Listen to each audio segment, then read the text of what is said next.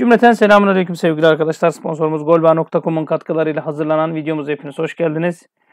Bugün elimden geldiği kadar videoları peş peşe hızlı bir şekilde aralıklarını fazla tutmadan paylaşmaya çalışıyorum. O yüzden gelişmeleri an be an sizlere aktarmak istiyorum. Lafı da fazla uzatmayayım. Fenerbahçe'de forvet tansiyonu. Şimdi transfer sezonunun hemen hemen sonuna gelindi. Yani birçok arkadaşımıza göre 1 Eylül son idi. Şimdi 2 Eylül.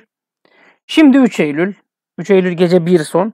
Ama bana göre 8 Eylül son. Özellikle forvet konusunda Plea, Charlotte, Maxi Gomez derken Ali Koç döneminde bir olaya imza atıldı. Miç Başduayı Fenerbahçe'ye geldi. Ve Fenerbahçe taraftarın bir kısmına göre bir türlü aradığı forveti bulamadı. İşte Slimaniler, Freyler geldi. Ee, mesela bu sezon kimin adı anıldı? Belotti'nin adı anıldı. Belotti'nin adı Galatasaray'la da anıldı. Galatasaray alamadı olmadı. Plea. Plea'ya Galatasaray'da teklifte bulundu. Artem Zuba. Trabzonspor son günlerde 6 milyon euroya önerildi denilmedi mi? Charlotte. Charlotte için de denilmedi mi? İşte Galatasaray'ın da isteği var falan diye. Ya da Trabzonspor devreye girdi diye. E Maxi Gomez olayı. Yani Maxi Gomez için de yine Galatasaray'ın teklifi var diye hatırlıyorum. Ama ihale Fenerbahçe'ye kaldı. Niye? Çünkü en ciddi aday Fenerbahçe. Ha Gomez'in Trabzonspor'a transferinden sonra da camia içinde isyan sesleri yükselmeye başlarken e, dün yine bir sürü isim ortaya atıldı. Mesela Luis Muriel ismini ortaya attı biri. Anthony Martial'i ortaya attılar. Serdar Azmun. E, hani Miç Başduay'ı da ortaya attılar ama en azından o alındı. Taraftarımız da şu anda tepkisi şu yönde. Ya madem fırsat transferiydi niye Başduay'ı aldın? Arkadaşlar ben şunu söyleyeyim size. Düne kadar Başduayı ismi gündemde yok. Adamlar sana son anda diyorlar ki yani son anda diyorlar ki siz 3 milyon euro veriyordunuz hala geçerli mi? Sen de diyorsun ki ben 3 milyon euro falan veremem. Veriyorsanız bedava verin.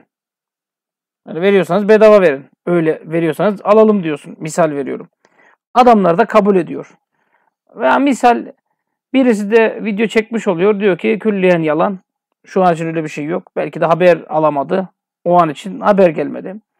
Sonrasında yalnız o bir kişi şuna tepki gösteriyor. Diyor ki bak beklentiyi arşa çıkarıyorlar. 10 tane 20 tane isim yazıyorlar. Yönetimi taraftarla çatıştırmaya çalışıyorlar. En azından ben bunlardan değilim diyor ama anlamamakta ısrar ediyoruz.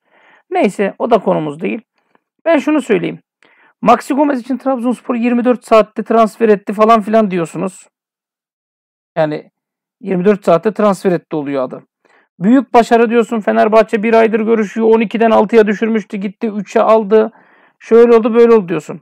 Bunu başarı gösteriyorsun. E Fenerbahçe'de başta bilmem kaç milyon euro alan, geçen sene Beşiktaş'tan 4 milyon euro yıllık ücret alan Başşuay'ı belki bedavaya alıp yıllık ücret olarak da 2 milyon euroya anlaştı belki de. O zaman bu da mantık olarak başarı değil mi? Ben buraya bir anket sunsam Maxi Gomez mi Başşuay mı desem vereceğiniz cevap aynen şu olur. İkisi de değil. İşte ya Musa Dembele gelsin. Ya Muriel gelsin. İşte Serdar Azmun diyor. Ya Serdar Azmun topçu mu Allah'ını seversen? Yani niye topçu mu? Ya adam hiçbir şey yapmıyor. Bir, ikincisi iki buçuk milyon euroya bu adamı niye aldılar? Ne vardı aldılar? Ya ucuz etin yahnisi nasıl olur siz benden iyi biliyorsunuz. Akşam pazar akşam pazar. Akşam pazarında çarık çürük de verebilirler dedim size. Anlattım. Dedim ki adam kilosu 8'de verdiği şeyi pazarcı 10 kilosunu al lan 8 liraya götür de ben de evime bir an önce gideyim de diyebilir dedim. Akşam pazarı işi riskli. Ama biz bunu seçtik çünkü teknik direktörümüz Jorge Jesus böyle istedi. Ben bu açıdan yönetime tepki göstermem. Yani ben bu açıdan göstermem. Ali Koç döneminde alınan golcüler. Slimani 25 maçta 5 gol. Bu arada maç sayısına değil de süreye keşke dikkat etselermiş. Frey 23 maçta 5 gol. Adam gitti 6 gol falan attı bir maçta. Allah yer 3 maç kaç liraya gitti. Mevlüt Erdeç 19 maç 4 gol. Bence işlerinde en kötüsü Mevlüt'tü. Vedat 36 maç 17 gol. Bak tutan forveti varmış. Berisha 32 maç 8 gol. Yine de bence iyi. Ademi 8 maç 1 gol. Papis Sisse 28 maç 5 gol. Mesela Wagnerlo Beşiktaş'ta tutmadı. Sisse de Fenerbahçe'de tutmadı. Samat da 33 maç 6 gol ki ucuza aldık diye seviniyorduk. Valencia 76 maç, 32 gol. Bence işlerinde en iyi istatistik Vedat ve Valencia'nın şu ana kadar. Tiam 34 maç, 8 gol. Birçoğunuz çöplediniz bu çocuğu. Bu çocuğa haksızlık ettiniz. Bence bu çocuk gayet iyiydi. Vallahi diyorum iyiydi. Serdar Dursun 47 maç 17 gol. İstatistiğe baktığınız zaman o kadar da kötü değil. Ha penaltı penaltı olayı var. Da Valencia'nın kaçırdığı 2-3 tane penaltı var ki. Evlere şenlik. Bu arada Valencia'nın cezası açıklandı Enner Valencia'nın. Profesyonel Fenerbahçe'yi durdurma kurumu e, PFDK Konya maçında kırmızı kart gören futbolcumuz Enner Valencia'ya bir maç ceza verdi. Şimdi komik değil mi direkt kırmızı karta bir maç? Ne diyor? Rakip takım sporcuna yönelik şiddetli hareketi nedeniyle FDT'nin 43. ile 35'e 4. maddeleri uyarınca FDT'nin 12. maddesinin uygulanması suretiyle bir resmi müsabakadan men ve 8700 TL para cezasına cezalandırması. Bu şu demek oyuncuyu haksız yere attık. Çünkü direkt kırmızı kartın cezası asla bir maç olmaz. Orada Valencia yerine Joshua King ve Pedro haberleri var. Bu haber maça ilişkin bir haber arkadaşlar. Hani Jesus Valencia'nın yokluğuyla ilgili planını kurguladı. Yani planı kurguladı. Biliyorsunuz cumartesi günü yani yarın Kayseri Spor müsabakası var. Ben videoyu cuma çekiyorum. Belki siz cumartesi izlersiniz. Adam bak yarın diyor demeyin. Bu sefer de yani videonun tarihine bakmadan bak adam maçın gününü bile bilmiyor falan demeyin de. Jesus bu yani Valencia'nın yokluğunda e, çift santrafor daha doğrusu birisi forvet arkası yardımcı forvet diğeri forvet olacak şekilde Joshua King ve Cao Pedro'yu oynatması bekleniliyor. Ki zaten bu bilindik bir şey. Hani e, başka tuhaf bir şey söylemediği müddetçe yani bu duyum herkesce tahmin edilecek bir duyum şeklinde. E, Serdar Aziz de göreve hazır. Yaklaşık bir buçuk aydır takımdan ayrıydı. O da iyi. Serdar gelişiyle Lemos yedek kulübesi diyor. Lemos da Valencia'da belki yedek kulübesinde bile yer almaz. Bakalım ne olacak. Rezerv lig kaldırıldı diyor. Hatırlayın arkadaşlar bunun haberini de vermiştim. Sonra Mehmet Büyükekşi hani kaldırmayacağız demişti ama e, fikstür de açıklanmıştı. Ben dedim ona rağmen kaldırıldı. Uygulamanın bir an önce yapılması yanlıştı ama bir an önce kaldırılması da bence yanlış. Yani madem böyle bir işe girişiyorsun biraz değiştirmek lazımdı. Ama federasyondan yapılan açıklama şu şekilde. Kulüpler Birliği'nin kamuoyu önünde yaptığı talep değerlendirilerek rezerv ligin kalan haftaların oynanmamasına karar verilmiştir. Kulüplerimizin talebi doğrultusunda U19 Gelişim Ligi ile ilgili yapılacak düzenlemeler önümüzdeki günlerde kamuoyuyla paylaşılacaktır. Federasyonumuzun internet sitesinde yer alan futbolcu, teknik adam, sağlık ekibi çalışanı, hakem, temsilci, gözlemci, futbolcu menajerlerine ilişkin bilgilerin yer aldığı bilgi bankası da tekrar erişime açıldı diye KVKK kapsamında kapalıydı. O da düzelmiş oldu. Atilla Sanayi Rusya'yı reddetti diye haber var. Arkadaşlar bakın. Özellikle bunu söyleyeceğim şimdi. Bu haber biraz tuzak bir haber. Bu arada forvet için ben şeyi de tekrardan aklıma geldi. Hani demiştim size ya şu gelecek demek de yalan olur. Şu gelmeyecek demek de yalan olur. Ben desem dahi şey yapmayın çünkü çok karışık bir piyasa diye. Şimdi Salah için aynısını diyorum. Gidecek demek de yalan olur. Kalacak demek de yalan olur. Ben de dahil kim derse desin 8 Eylül'e kadar müddet var. 8 Eylül'e kadar her an her şey olabilir. Bu bir.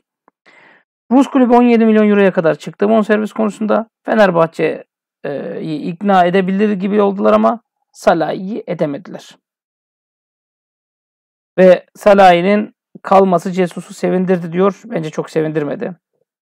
Çünkü Atilla Salah'ın durumu netleşti diyor. Netleşmedi. Tam olarak netleşmedi arkadaşlar. Ne derseniz deyin netleşmedi. Rusya'nın Zenit takımından teklif aldı ve son karar futbolcuya bırakıldı ki zaten anlaşma futbolcunun. 2.2 milyon euroyu almıştı Fenerbahçe. Ve e, Apollon Limassol'undan transfer eden Atilla Salahi bu sezon oynadığı 10 maçta forma gidi bir golü var. Avrupa Ligi listesi içinde son gün bugün. Bakalım ne olacak ama şunu söyleyeyim. Salahi listeye yazılır. Fakat ben kesin kaldı diyemem. Ve günün sürpriz bombası Çağlar Söyüncü. Şimdi Çağlar Söyüncü olayını ben size aydınlatayım. iyi bir Fenerbahçelidir Çağlar Söyüncü. Hocam Fenerbahçe'de ister misin? Deliler gibi isterim. Manyak gibi isterim hem de. Niye istemeyeyim?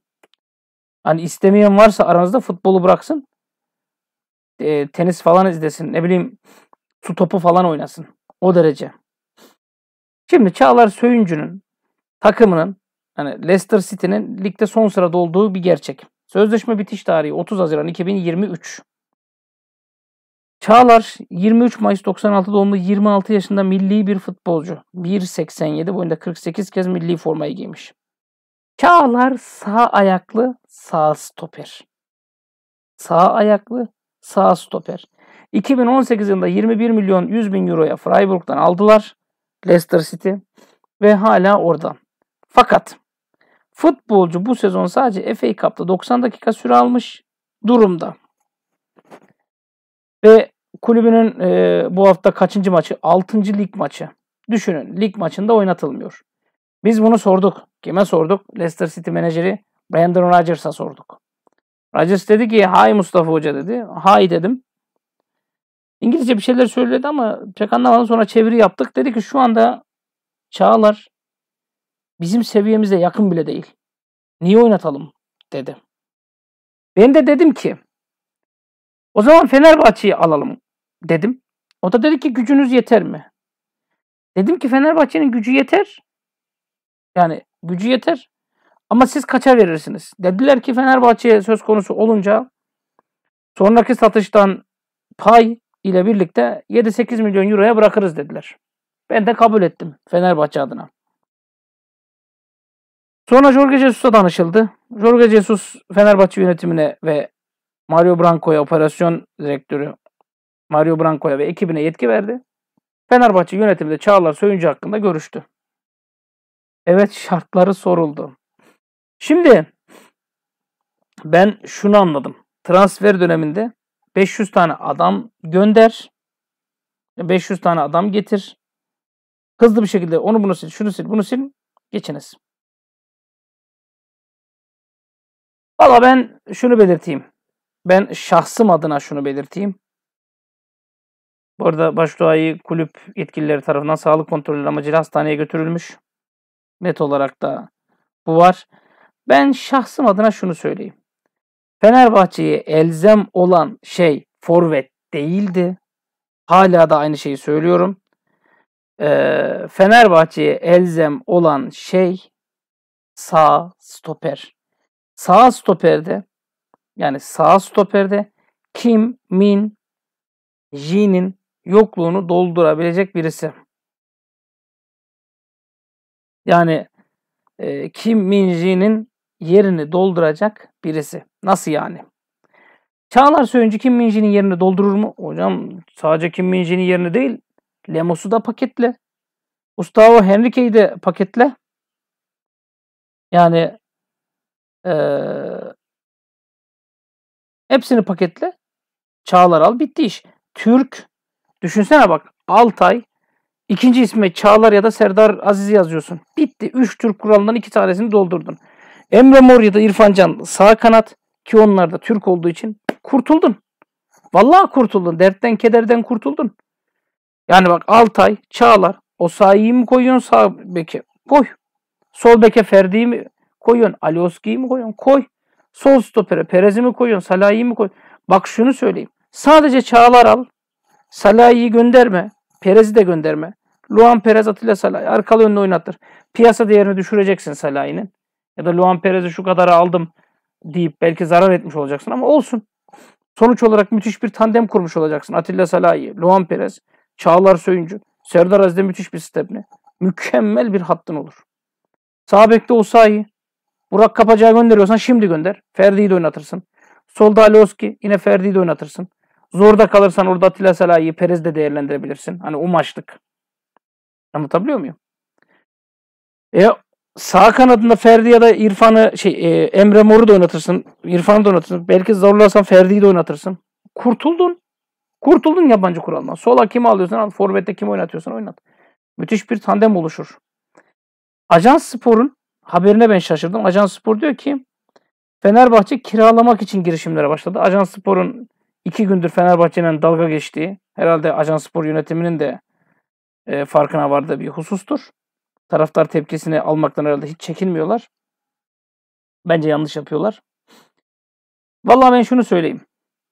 Çağlar Söyüncü'yü Fenerbahçe alırsa tarihi bir transfer yapmış olur.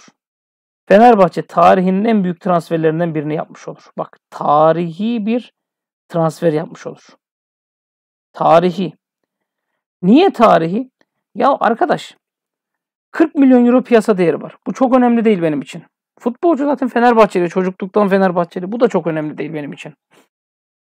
Şu an bana göre Fenerbahçe'nin en zayıf halkası sağ stoperi. Beşiktaş'ın en zayıf halkası stoperi. Galatasaray'ın stoperi. Trabzonspor'un en zayıf halkası neresi? Bartra'yı aldılar. Higo ile birlikte bence stoperleri iyi. Kaleci de kendi çaplarında iyi. Sağ bek, sol bek belki oradan yuvarlarsın. Ön liberoların eksikliğini düşündüler. Ön libero da aldılar. Aslında bak Trabzonspor hani Haziran'da alıyordu hep diyorduk ya işte transferi akıllıca iş yaptılar diye. Şimdi daha akıllıca iş yaptılar. İşte ama çok fazla kalabalık oldu. İşte bu kalabalığı idare etmek sıkıntı. Oynamayanların huzursuzluğu sıkıntı. Fenerbahçe'de de var o kalabalık olayı. Kısmen e, rotasyon yapıldı edildi. Birkaç maç gitti. Şimdi en azından futbolcuları şey denecek. Arkadaş ben sizi rotasyonda oynatıyorum. Sonra getiriyorum oynatıyorum. Yoksunuz. İyi çalışın. Benim as 11'im şu dersin falan filan. Neyse. Çağlar Söyüncü gelirse Fenerbahçe'nin bütün dertleri çözülür. Bütün dertleri çözülür. Hepsi. Yani hepsi. Hepsi çözülür. Fenerbahçe'nin bütün derdi çözülür. Peki bana şunu sorun. Hani e, forvet için hocam forvet için misal veriyorum. Şu andan itibaren Ronaldo mu gelse sevinirsin. Yoksa Çağlar mı gelse? Çağlar. Hocam forvet için Dembele'yi çok istedin. Mesela şu anda Dembele açıklansa mı daha çok sevinirsin Çağlar mı? Tabii ki Çağlar. Çünkü ben 2-3 haftadır ısrarlı bir şekilde söylüyorum. Fenerbahçe'nin eksikliğini hissettiği şey sağ stoper. Ya Kiev maçını hatırlayın. Rakibi dövdük. Rakip kaleciyi dövdük. Rakip savunmayı dövdük dövdük. Adamları dövdük. Nasıl dövdük? Pozisyon üstüne pozisyona girdik. Demek ki bu takımın üretkeninde bir sıkıntı yok diyorum. Ama rakip senin üstüne geldi mi? Öyle mesela Gustavo Henrique ile başlanıldığı zaman ben diyorum işte Essela arkadan Sela duyuyorum. İşte Lemos'tan başlanıldığı zaman aynı şekilde. Tamam şimdi Serdar Aziz iyileşti. Ne diye kadar? En ufak bir sakatlanmada yine Pertis. Vallahi ben şunu söylüyorum. Ali Koç'a hani tepkiler var ya şu anda. İşte fırsat transferi diye Başduay'ı getirdin diye. Ben kısmen hak veriyorum. Taraftar kısmen haklı. Peki Başduay'ı bilerek getirmiş olsa. Yani şöyle anlatayım size. İlla bir bonservis verebileceğim param var. Ama ben bu bonservisi forvete değil de sağ stopere vereyim dese yani Çağlar ve Başduay'a gelmiş olsa hiç kimsenin itirazı olmaz bence.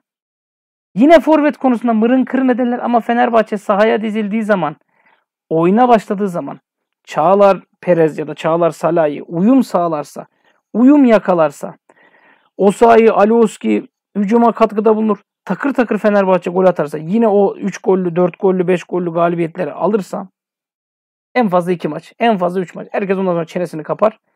Ve Fenerbahçe açısından bunun daha mantıklı olduğunu düşünüyorum. Yani Fenerbahçe yönetimine şiddetle tavsiye ediyorum. Varınızı yoğunuzu ortaya koyun. Gidin Çağlar Söyüncü'yü alın. Yani hem beni millete karşı mahcup etmeyin hem kendinizi mahcup etmeyin. Çağlar Söyüncü'yü Fenerbahçe'ye getirirseniz iş biter. Ha Çağlar hakkında bazıları yorum yapmak istemiyorlarmış. İşte ama Leicester City göndermek istiyormuş falan. Yarın bir gün bunu kullanırlar. Bak ben yorum yapmamıştım diye. Demezler yani. Ulan ben bu topa girmedim benim duyumum yok diye.